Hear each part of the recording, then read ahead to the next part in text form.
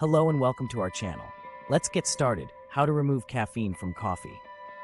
If you prefer your coffee sans caffeine, fear not. Here's how to decaffeinate your brew. 1. Water process. Steep green coffee beans in hot water to extract caffeine, then use a carbon filter to remove it, leaving behind the rich flavor. 2. Swiss water method.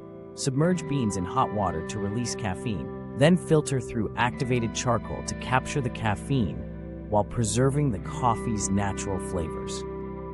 3. Carbon dioxide method. Utilize pressurized carbon dioxide to extract caffeine from beans, resulting in a flavorful, caffeine-free coffee. 4. Chemical solvents. Treat beans with ethyl acetate or methylene chloride to dissolve caffeine, then steam to remove any remaining solvents. DIY decaf. Brew coffee using a paper filter, which traps much of the caffeine, or opt for naturally low caffeine beans like decaf or half caff varieties.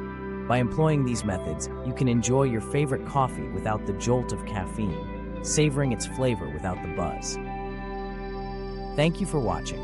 Don't forget to like and subscribe for more helpful tips and information.